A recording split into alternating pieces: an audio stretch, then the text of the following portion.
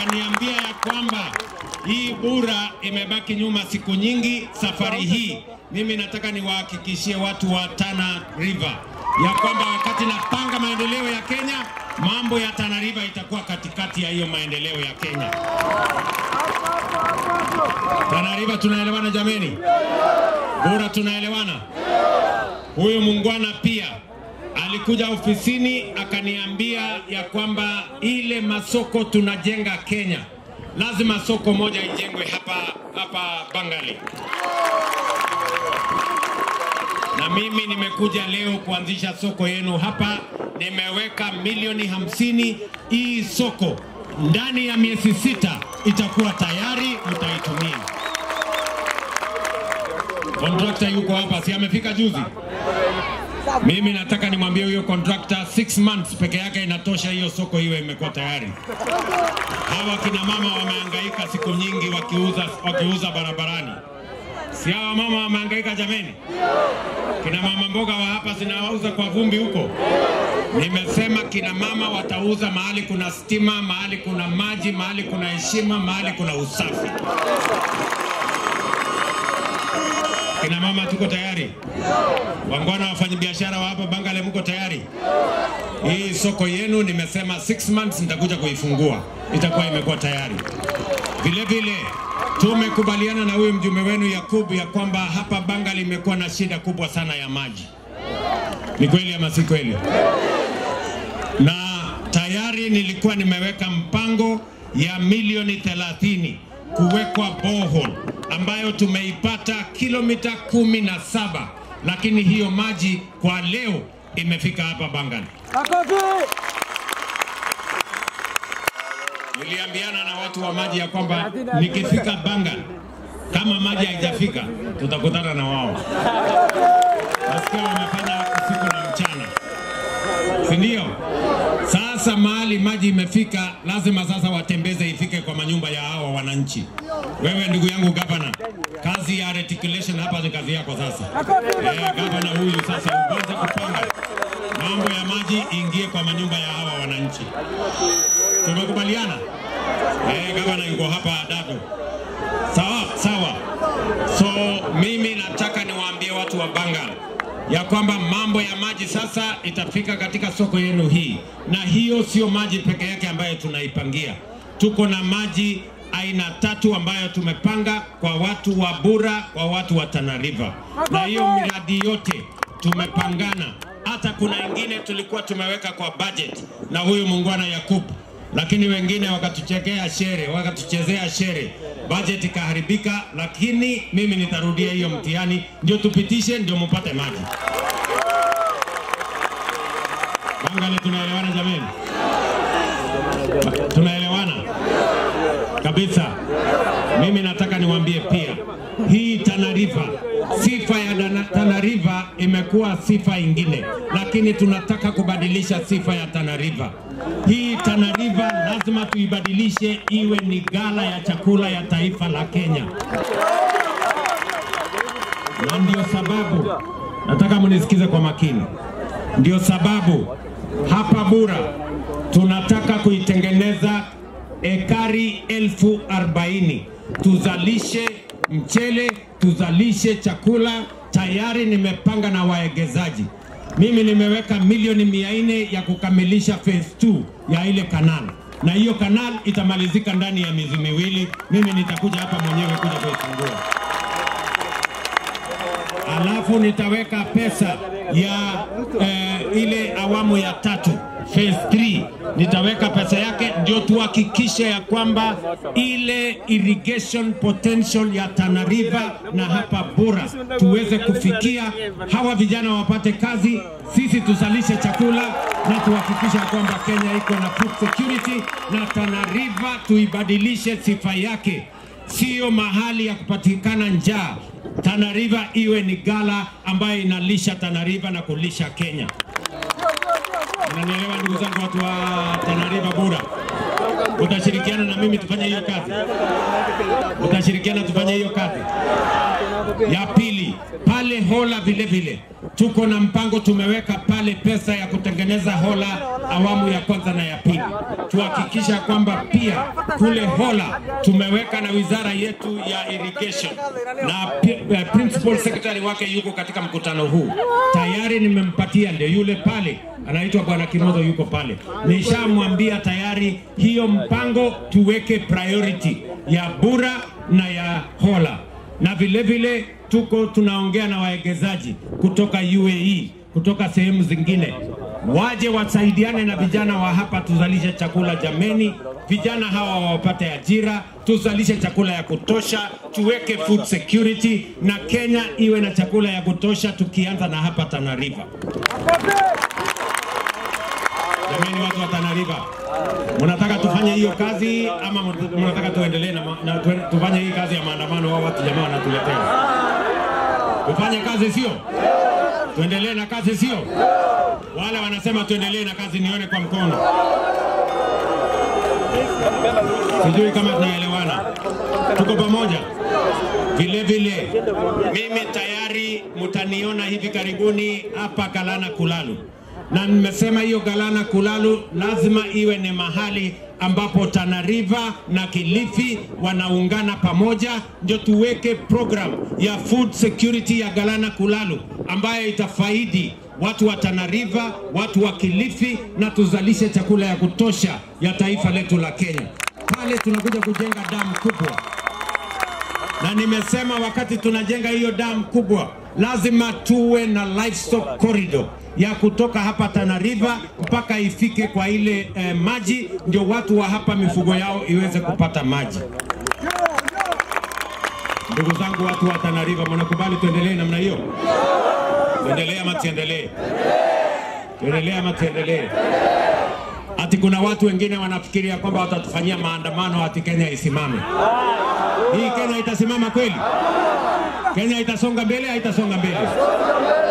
Wale wanasema Kenya itasonga mbele, nione kwa mkono. Na mimi nataka niwaambie, hatuwezi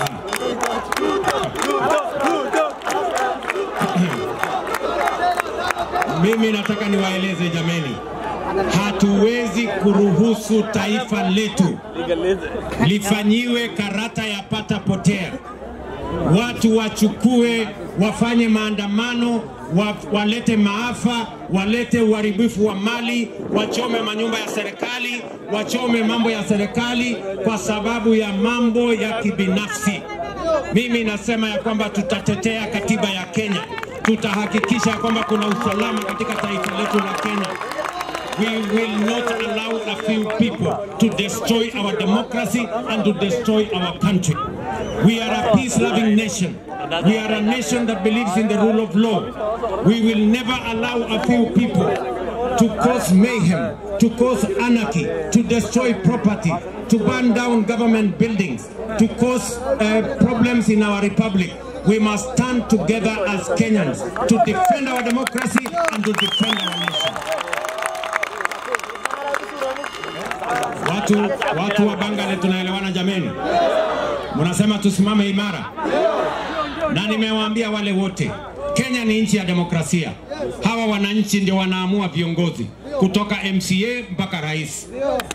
Uongozi wa Kenya haiamuliwi kwa fujo, haiamuliwi kwa social media, haiamuliwi kwa maandamano, haiamuliwi kwa vita, haiamuliwi kwa kuua wa kenya Uongozi ya Kenya inaamuliwa na Wakenya hapa kupitia demokrasia, na Wakenya wanajua vile ya kufanya hiyo kazi. Jameni, watu wa Bura, tunaelewana jameni? Tunaelewana? Tuko pamoja? Mnasema tuungane, tupeleke Kenya mbele. Ndio juzi mimi nimetengeneza serikali ya kuunganisha Wakenya wote, na nimesema Wakenya kutoka kila jamii, kutoka kila sehemu, kutoka kila mirengo, tutaungana ili tuhakikishe ya kwamba Kenya inapiga hatua ya kwenda mbele.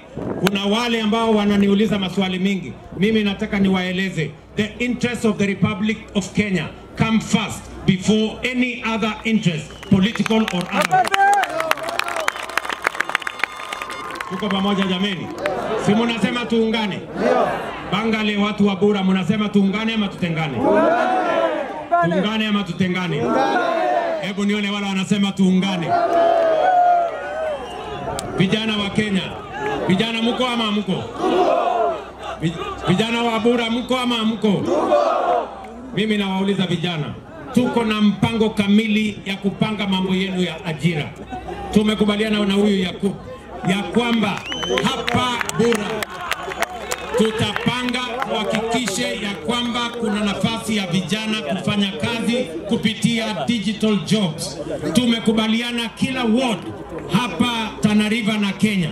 Tutakuwa na ICT hub.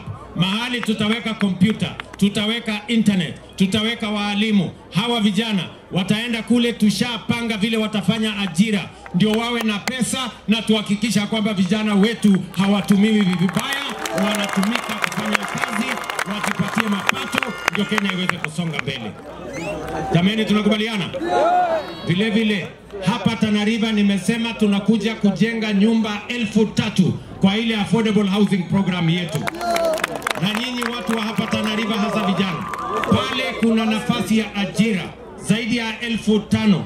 Tunahitaji watu plumbers, tunahitaji engineers, tunahitaji mbali na mambo ya stima, mbali na mambo ya kilimo, mbali na mambo yale mengine ambayo nimesema ya market kama hii, mbali na mambo ya maji. Vile vile nimekuja hapa kwa sababu tunajua bado kuna wananchi wengine wengi ambao hawana uwezo wa kujilisha. Serikali tumetoa milioni mia mbili na thelathini na tisa kwa Hunger Safety Net. Wananchi familia elfu saba na mia tatu watapata nafasi ya kupata elfu mbili na mia saba kila mwezi ili watafute chakula walishe familia zao, ndio tuweze kuambatana pamoja. Vile vile mnajua hapa kwenu tulikuwa na mafuriko mengi, si ni kweli? Wananchi wengi walipoteza manyumba yao na makao yao. Pia leo nimekuja na hundi ya shilingi milioni mia nne hamsini ya kutengeneza manyumba ya wananchi elfu sita ili tuwatafutie makao mapya, wao waweze kuishi mahali pazuri, kwa sababu walipata hasara wakati wa mambo ya mafuriko. Tuko pamoja jameni, tuko pamoja. Mnasema tuendelee na kazi, tuziendelee Tuendelee, tusiendelee? Tuendelee na, kazi kabisa. Tuwachane na fujo, tuwachane na vita, tuunganishe Wakenya. Wale jamaa watupatie nafasi tuunde Kenya, kwa sababu hawana mpango mbadala. They have no alternative plan.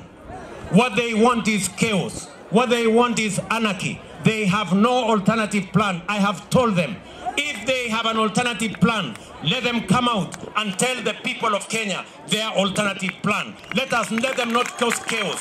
Let them not cause anarchy. Demonstrations, anarchy and mayhem is not going to sort out the problems of Kenya. Tuko pamoja ndugu zangu watu wa Bangal. Watu wa Tana River tumekubaliana. Kama wako na mpango si watueleze. Sisi tuko na mpango ya kupanga ajira ya hawa vijana. Tuko na program ya housing tuko na program ya digital jobs, tuko na program ya export of labor, tuko na program ya industrialization. Yao ni gani? Wako nayo? Ati yao ni maandamano. Maandamano ni mtu, mtu anaweza kufanya ni, iwe ni kazi. Aha, bwana, basi tuletee hizo. Sijui kama tunaelewana watu wa Tana River, tuko pamoja. So mimi nawauliza ndugu zangu, tushirikiane, tufanye kazi pamoja. Mimi nimefurahi sana kufika hapa Bangal, na mimi nataka niwaeleze ya kwamba hii Bura, safari hii kwa hii serikali mimi nasimamia, itakuwa katikati ya mipango ya maendeleo ya taifa letu la Kenya. Sawa. Na leo nimefungua kituo ya watu kupata ID, na ile maneno ya zamani ya kufanywa vetting mimi nishafutilia mbali. Nimesema Mkenya ni Mkenya yule mtoto wa Wasingishu, Nairobi, Kisumu, Mombasa na hapa Bangal wakuwe sawasawa mbele ya sheria. Hakuna Mkenya bora kuliko Mkenya mwenzake. Tumeshakubaliana na hiyo maneno ya vetting, nilishafutilia mbali. Mkenya apatiwe kitambulisho, tukutane mbele, akitafuta ajira, akijipanga, twende mbele pamoja. Ama namna gani jamani? Mi nauliza nyinyi, nauliza nyinyi ndugu zangu, watu wa Bangal na Bura, huyu kijana Yakub mtamshika mkono jameni? hapa kuna wengi, kuna wengi wanasema bora kiongozi, lakini huyu hapa ni kiongozi bora, sio huyo bora kiongozi. Huyu jamaa ni mtu wa kusimama na msimamo, sijui kama tunaelewana. Huyu jamaa ni mtu wa kusimama na msimamo. Nimeona wengine wanajaribu kumtisha, lakini mimi naambia hawa, huyu ni simba hatishiki huyu. Na huyu kijana wenu nitamshika mkono, si namna hiyo? Huyu aliyashaka nitamshika mkono. Huyu gavana wenu nitatembea na yeye, ndio tuende safari mrefu. Na huyu mama wetu, mama wa kaunti, mama wa msimamo, na huyu Mungatana Mlamamba mwenyewe, tuko pamoja tuna... huyu senata wetu, jameni, tutatembea pamoja.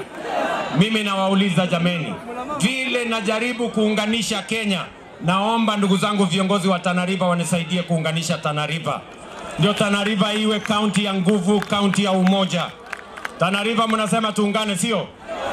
Tuungane namna hiyo, hawa viongozi kutoka MCA waungane na mimi niunganishe kule juu, ndio Kenya itembee haraka na maendeleo na kwenda mbele. Asanteni sana. Wacha sasa na huyu mzee wangu, najua tuko na haya, huyu Ali Wario mzee wetu.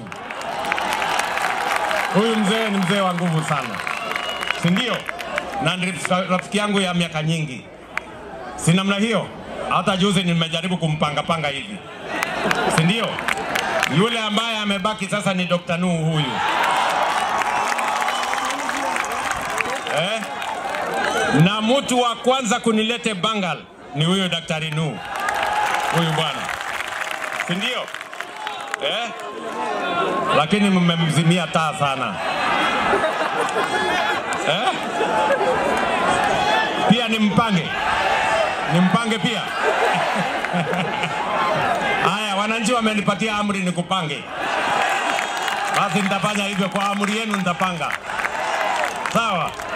Na huyu mama Alima Ware pia shujaa wetu wa hapa Tana River, pia nitaungana na yeye, na huyu Gorfu Kayo. Eh? Huyu mungana huyu. Pia tutashirikiana na yeye, na hapa tuko na mzee wetu Maalim, mbunge wetu wa kutoka hapa Garissa. Dadap, si mnamjua? Huyu Maalim Fara Fara Maalim, na huyu mungwana anaitwa Deko Meja Deko, mbunge wetu wa Dujis hapa karibu wa Garissa mjini, si namna hiyo. Na huyu mheshimiwa wangu wa Lafe, mpigeni makofi jameni. Sisi wote ni timu moja, mnasema tuungane jameni. Safari hii tunatembea safari moja namna hiyo kabisa. Na hapa niko na waziri wangu wa viwanda, mambo ya kuegeza na biashara, anaitwa Salim Buria. Kwa mapenzi ya Mungu atapita kule bunge, ndiye akuja atusaidie kusukuma biashara ya Kenya, kutafuta waegezaji na kupanga vile tutakuwa na viwanda, ndio vijana wetu hawa wapate ajira, tusonge mbele kama taifa letu la Kenya. Bangale, tumekubaliana jameni? Ndugu zangu wa Bura, tumekubaliana?